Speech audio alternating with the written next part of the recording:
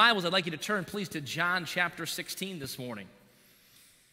In John chapter 16, we're going to see some words from Jesus Christ that I believe will encourage you today and challenge you. Here we're going to find that the disciples were saddened at this point. The disciples had a, a, a kind of a, a sorry uh, spirit, a sad spirit. They have just learned or they've just realized that Jesus Christ is going to leave them. Now, Jesus Christ was telling them this his entire ministry. From the very uh, early words of Jesus Christ, he told his followers, Listen, I'm here for a while, but I'm going to have to leave you. I'm going to go away, and I'm going back to heaven where I'm going to sit at the right hand of God. For whatever reason, and we're all guilty of this, it hadn't quite sunk in until now. Now, this happens to all of us where what we hear and what we understand sometimes doesn't happen in the same moment. We hear this is going to take place. For students, it's test day. Test day's next Friday. What they hear and what they understand, they don't compute. And Monday passes and it's wonderful. Test day's Friday. Tuesday, life is grand. Wednesday, party day. Thursday, whoo, Friday. Oh no! It's test day. What they heard and what they understood and how they reacted didn't quite line up. It seems that has happened with the disciples. That they've known Jesus has said he's going to leave, but now it's reality. Now he said, just a little bit longer and I'm going to be gone. And it's like they say, What? You can't leave yet. You can't go anywhere.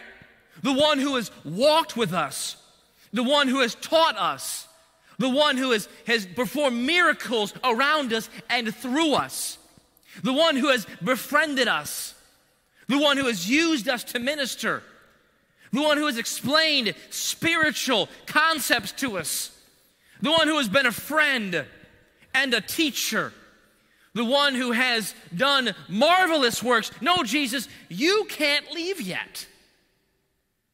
Lord, you're not done here. We, remember when, when you, you, you calm the storm and the water. Lord, I'm sure you got some more miracles left. And so here, the disciples, we come to this passage, and the disciples are feeling some sadness and sorrow because of some loss or a realized loss that will soon come.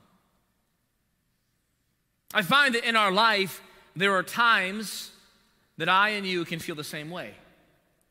That we feel that Jesus Christ has left us and has left us alone.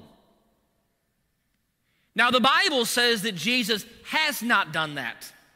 In fact, he says that I will never leave thee nor forsake thee. But in our mind, in our life, in our heart, we work through this. Lord, I'm kind of lonely right now. Lord, I'm handling all of these struggles, all of these battles, all by myself. No one else understands. No one else can relate. No one else can, can give any kind of weight to what I'm going through. Lord, why have you left me alone? Lord, why have you left me to fend for myself? And here in John chapter 16, we're going to read some verses. We're going to discover that Jesus Christ not only did not leave us alone, did not leave the disciples alone, but has promised that once he went to heaven, which he did just a few chapters later in the book of Acts, that when he went to heaven, he would leave behind the Holy Spirit who would help us, who would encourage us and enable us. Today, I want to speak on the incredible gift that God has left to us. If you have your Bibles, please, John chapter 16, beginning in verse number 1, where Jesus says these things to his disciples These things have I spoken unto you, that ye should not be offended. They shall put you out of the synagogues. Yea, the time cometh that whosoever killeth you will think that he doeth God service. And these things will they do unto you because they have not known the Father nor me. But these things have I told you, that when the time shall come, ye may remember that I had told you of them. And these things I said not unto you at the beginning because I was with you. But now I go my way to him that sent me and none of you asketh me, Whither goest thou? But because I have said these things unto you, sorrow hath filled your heart. Nevertheless, I tell you the truth. It is expedient for you that I go away. For if I go not away, the Comforter will not come unto you. But if I depart, I will send him unto you. And when he has come, he will reprove the world of sin and of righteousness and of judgment. Of sin because they believe not on me, of righteousness because I go to my Father and ye see me no more, of judgment because the prince of this world is judged. I have yet many things to say unto you, but ye cannot bear them now. Howbeit, when he, the Spirit of truth, is come, he will guide you into all truth. For he shall not speak of himself, but whatsoever he shall hear, that shall he speak, and he will show you things to come. He shall glorify me, for he shall receive of mine and shall show it unto you. All things that the Father hath are mine, therefore said I, that he shall take of mine and shall show it unto you. A little while, and ye shall not see me, and again a little while, and ye shall see me, because I go to the Father. Let's ask the Lord's blessing on this time of the service, if you would, please. Lord, we thank you for your word. Lord, we thank you that we can have this incredible gift of the Holy Spirit. And Lord, I pray that during this service that you would touch us through your word. That the Holy Spirit would convince us and convict us of sin, of error. And Lord, those who this morning need to put their faith in you, I pray that they would trust you for salvation today. And Lord, we ask that you would be glorified, that Jesus would be uplifted, that everything that's done here would please you. Lord, we love you. We praise you for this time in Jesus' name. Amen. When Jesus left, Jesus did not say, Now listen, I'm going to go to heaven, but you can FaceTime me. Now, I'm thankful for his FaceTime because it, it enables me to see someone who's not nearby. But Jesus did not leave us with FaceTime. He did not leave us with WhatsApp video calls, though I'm thankful for WhatsApp video calls. They help us know someone and see someone who's in another country who maybe can't do FaceTime.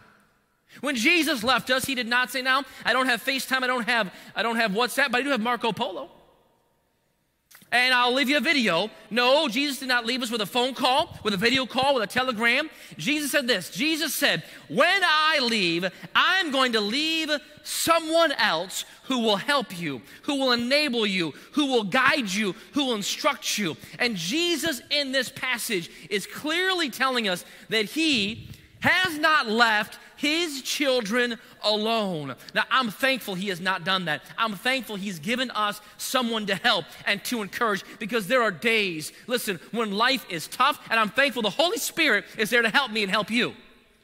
I'm glad that when I go to a funeral home and I'm talking to a mom and a dad who, has lost a, who have lost a child, I can say, Here, listen, I don't know how you feel, but the Holy Spirit does, and He will encourage you.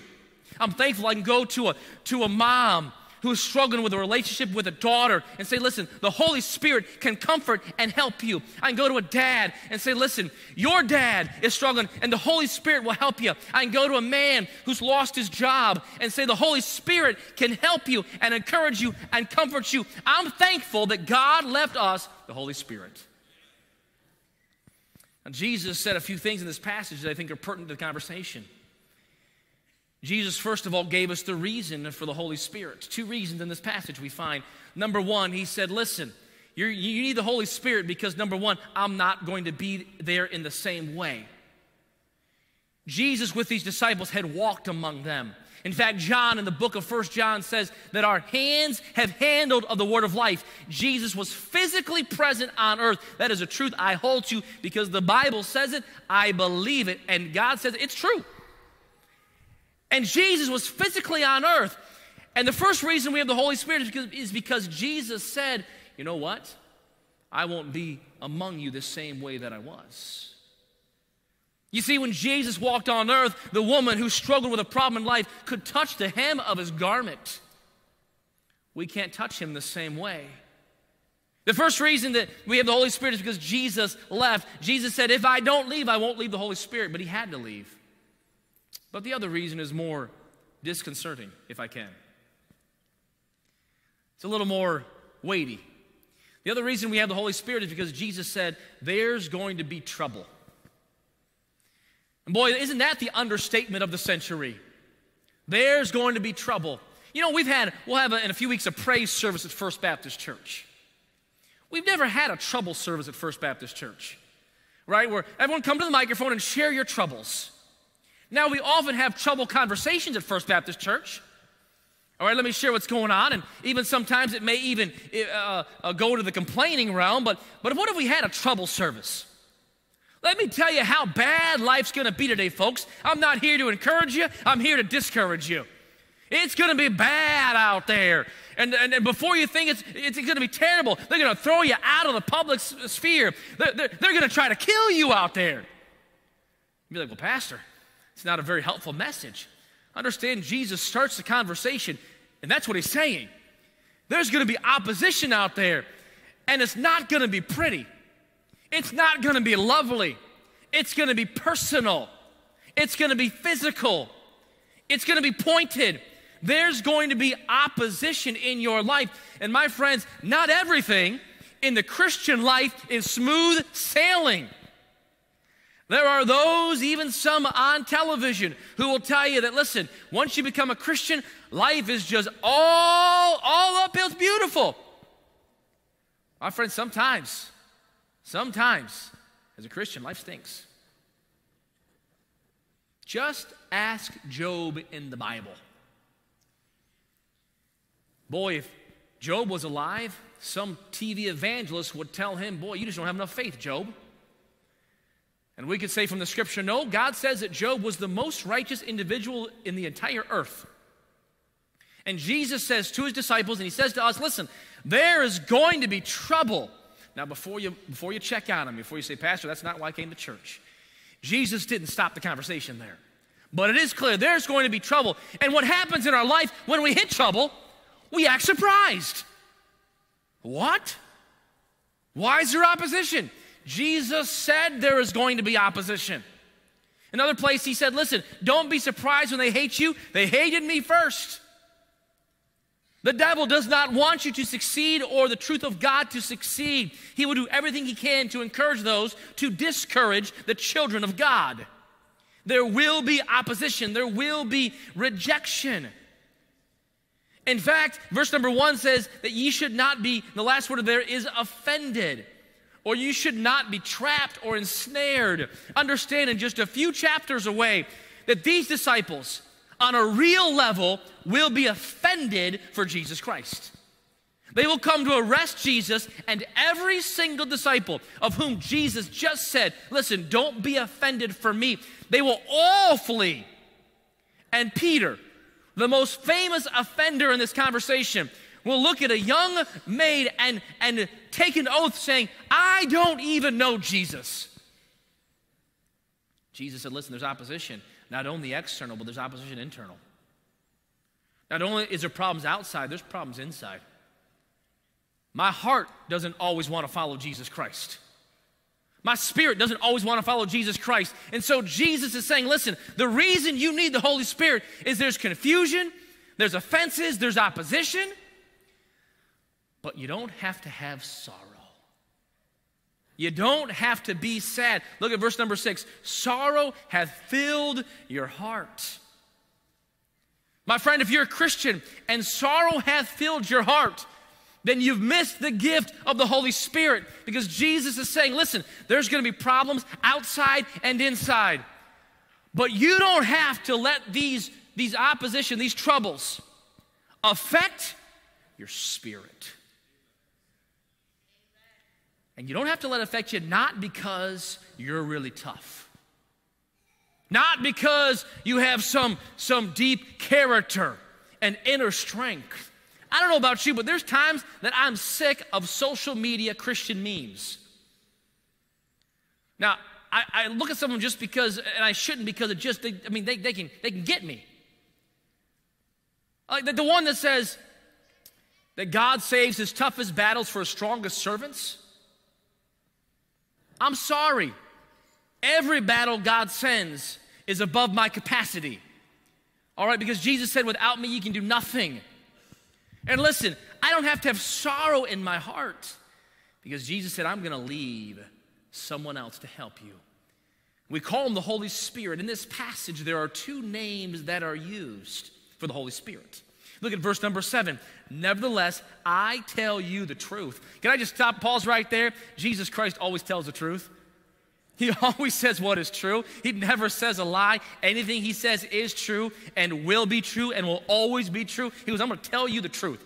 It is expedient, it is good, it is helpful that I go away. For if I go not away, the Comforter will not come unto you. But if I depart, I will send him unto you. That word comforter, uh, we, we see it in a few other passages. We see it in John chapter 14. We'll see this word comforter twice in John chapter 14, once in John chapter 15, and here in John chapter 16. It, it means one who, who comforts and one who helps. The word there is a paraclete, one who helps. I heard a man talking about this once, and I loved what he said. He said, You may not know what a paraclete is, but you may know what a parachute is. And he said, when you're falling from the sky, a parachute opens up above you and carries you all the way down to the ground. And this man said, Listen, the Holy Spirit, when you're falling in life and you're about to hit the ground and your life's about to be over, the paraclete becomes a parachute and he keeps you from wrecking your life. I'm glad that my paraclete is a parachute in life. There are times that I feel like I'm just falling aimlessly, and the Holy Spirit graciously comforts and helps. We're on that path, and the Holy Spirit helps us. This man went on to say, Listen, you may not know what a paraclete is, but maybe you know what a paramedic is. And when you're hurt, and when your body's broken, and when you're bloodied and bruised and battered, a paramedic steps in and he helps heal your body and he fixes the hurt in your life. And, he, and, this man said, Listen, I'm so glad that my paraclete becomes a paramedic, that when I'm broken and when you're broken, when I'm bruised in my spirit, when I'm bruised spiritually in life, that the paramedic of the Holy Spirit comes and he heals and he mends and he comforts my life. I'm so glad he shows up at funerals to comfort. I'm so glad he shows up in the unemployment line. I'm so glad he shows up late at night when I'm lying in bed all alone and the paramedic helps heal a broken heart or broken spirit. I'm glad he shows up into broken marriages, broken relationships. I'm glad he shows up when I'm broken on the inside. My paraclete is a paramedic. And this man wanted to say this You may not know what a paraclete means, but you maybe heard of a paraphrase. When someone takes what you're saying and says it a little bit differently. The Bible says in Romans chapter 8 that the Holy Spirit, when we don't know how we ought to pray, that there is one who prays for us. When we don't know what to say, that the Comforter, the Paraclete, begins to paraphrase for us to the Father. And our Holy Spirit, the Comforter, helps us with groanings, the Bible says, that cannot be uttered. My friends, there are days in our life because of opposition, because of hurt, because of struggle, that I don't know how to pray. Just being honest, I don't know how to pray. And the Holy Spirit, the Bible says, Jesus says, the Holy Spirit helps me to pray when I don't know how to pray. And maybe you've been there before. You sit there and you feel lost. Like, Lord, just help me know how to pray. What even do I begin to pray for in this situation? What even do I do? And Jesus says, It is expedient, it is good that I leave, because when the trouble comes, I will leave you the comforter, the paraclete. Not only is he a comforter, but the Bible says in verse number 13, there's another name used. Howbeit, when he, the Spirit of truth, is come, he will guide you into all truth. Not only is he a comforter, but he is a guide. The Bible says here he reproves, he guides in three ways. He reproves the world of sin, he reproves the world of righteousness, and he reproves the world of judgment. What that means is that when he reproves the world of sin, that the Holy Spirit convicts us of sin in our life. That means that before I'm saved, he begins to show that I'm not a good person, that I'm a bad person because of sin. that I don't make the right choices, that I've done things God has said not to do. That's what the Holy Spirit does. He convinces and convicts of sin. After I've trusted Jesus Christ as my Savior, He again convinces and convicts that sometimes I still make sinful choices. There are some times that I have a rotten, no good, bad attitude. And the Holy Spirit says, You've got a rotten, no good, bad attitude. But sometimes I make a choice that doesn't honor the Lord. And the Holy Spirit says, You've made a choice that doesn't honor the Lord. This is the job of the Holy Spirit. He convicts the world of sin, He convinces of righteousness. Well, this is what you ought to do. He convinces that Jesus is alive and real and that He cares. He convinces that His way is the right way. He convinces that following God's word is the correct path, and then he reproves of judgment, or he persuades that all that we know will happen from God's word. I'm so thankful that we have the Holy Spirit. But now, this morning, as we conclude the service, I want to challenge us. Because Jesus said, If I leave, the Comforter will come. As we read our Bible, we find out in the book of Acts early on that these disciples, these same disciples who heard this, are sitting in an upper room, they're praying, and all of a sudden the Holy Spirit at that point begins to work on earth. They go out there and they begin to prophesy and testify, they begin to preach, and God uses them in a mighty way. But God still has the Holy Spirit available for you and for me. But this morning, I want to talk briefly about what your response to the Holy Spirit is. Well, I'm thankful, as you should be. I'm grateful, as we should be. But I believe there are two from this passage, two responses that we ought to have because of what Jesus Christ has said. The first response I think we find in verse 13. When Jesus said, the Holy, howbeit, when He, the Spirit of truth, has come, He will guide you into all truth. Number one, the first response that you and I must have is we must allow ourselves to be guided by the Holy Spirit. Jesus said that the Holy Spirit would not speak of Himself, He will speak of the Word of Jesus. What that means is that the Holy Spirit will use the Word of God in your life and in my life to convict us of sin to convince us of righteousness and how to live righteously and with discernment and judgment. And instead of resisting the Lord, we ought to accept his leading in our life. There was a famous preacher by the name of D.L. Moody. D.L. Moody was a, was a fantastic speaker, and God used him greatly. There was one time he was holding a revival service, and another man said, Why do we need D.L. Moody at this service? And another preacher said, eh, or the man said, Why do we need him? He's uneducated and inexperienced. Does he think that he has a monopoly on the Holy Spirit? Could we not use someone else? And this other preacher said to this man, he said, Listen, he said, No, D.L. Moody does not have a monopoly on the Holy Spirit, but he said the Holy Spirit has a monopoly on Mr. D.L. Moody. And in your life and in my life, I want the Holy Spirit, who Jesus promised in John chapter 16, who would do these things and fill this need in my life. I want him to have a monopoly on my life and on your life. Now, Baptists get afraid of the Holy Spirit. Our Pentecostal friends, perhaps, uh, not perhaps, do go a little bit too far in the Holy Spirit, but Baptists get afraid of the Holy Spirit. He can't speak to us. Jesus said, When I give you the Comforter, He will guide you. And so my job is to allow Him to guide me right? If Jesus said he'll guide you, my job let him, to, to, to let him guide me. They say, all right, Holy Spirit, I need your guidance. Allow him to be guided, a guide in my life. When I was younger, 10th grade, I realized that I could not see the blackboard correctly. So my parents took me to an eye doctor. And I looked at the chart, and apparently I failed the chart. And they gave me some glasses. There's a 10th grade boy. I had the nerdiest glasses you could possibly imagine. There are pictures floating around of which we hopefully will never see here at First Baptist Church. Now, all of you are like, hey, can we get our hands on those pictures? There's opposition in life, sometimes outwardly. But those glasses enabled me to clearly see what I couldn't see before. I couldn't be guided by the instruction before because my eyesight was hindered. And the glasses allowed me to see. The Holy Spirit lets me see these things, He guides me.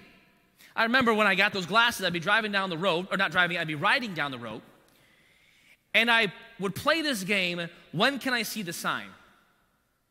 Maybe if you've gotten glasses later in life, you've played the sign when, or played this game. When can you see the sign? Right? So you see a sign down the road, it's blurry, and then you're like, the person next to you, when can you see it? When can you see it? Now I can see it.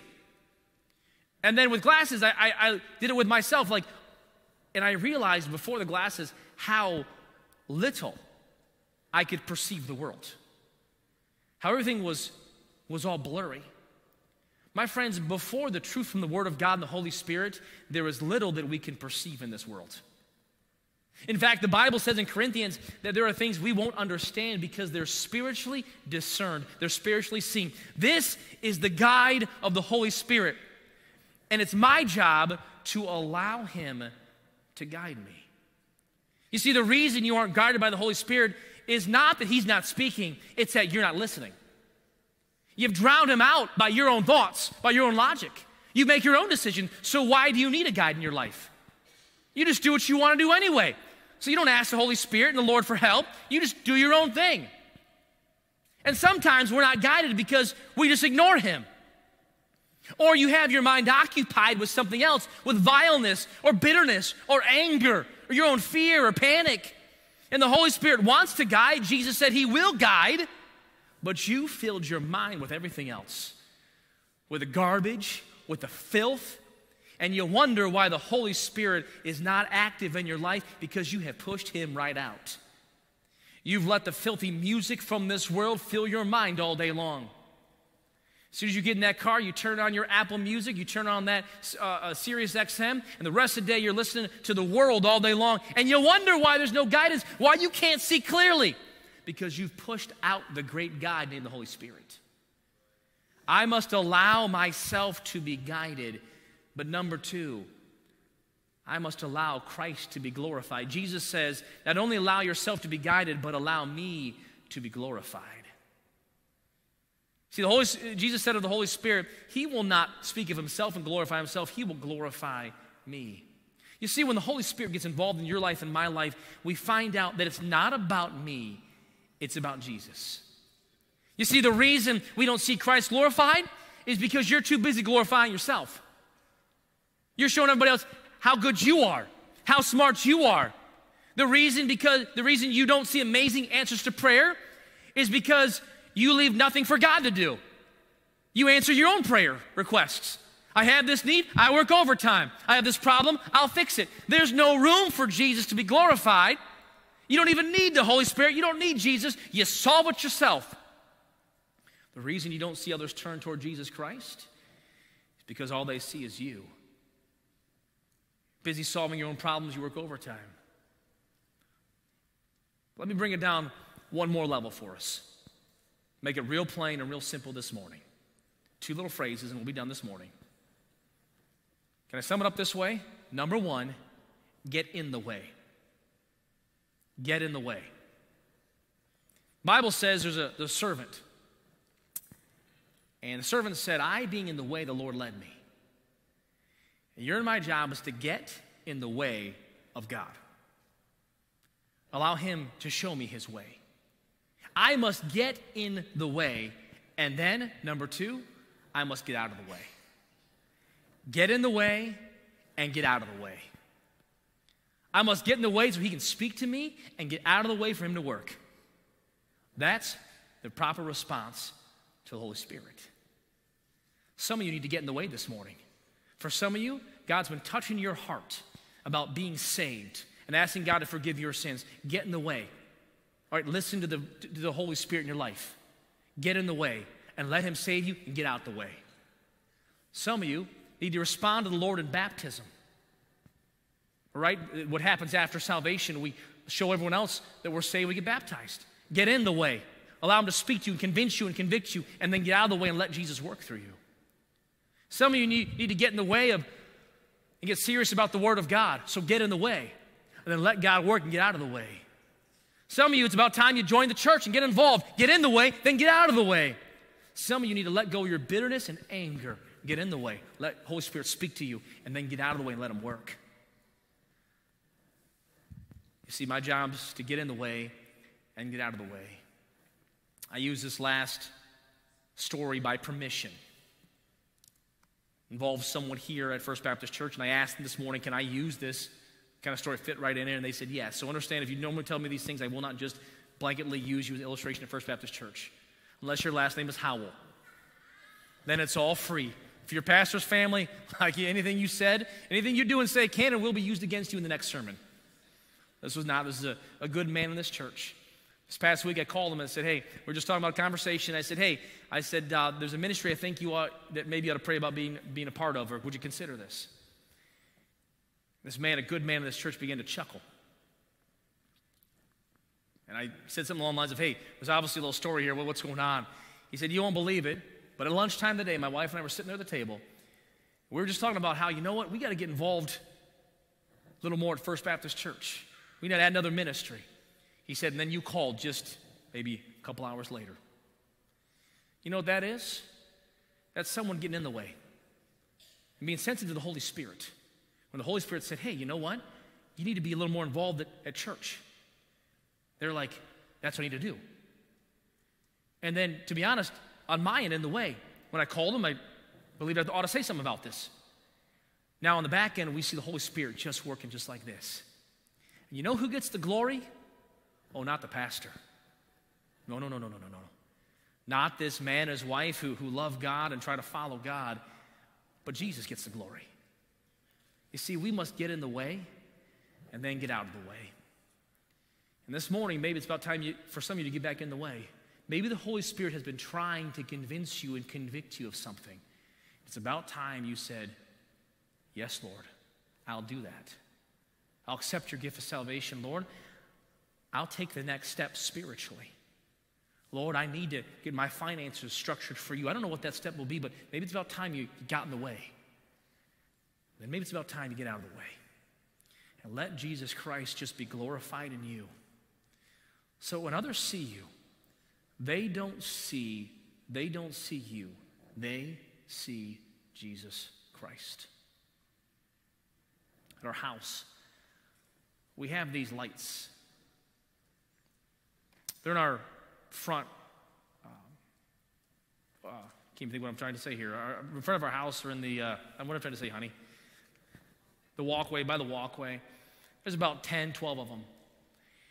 And these lights all point toward the house. And at night, if you drive past our house, you notice the house is lit up. You don't notice the lights. And that's the point of my life and your life.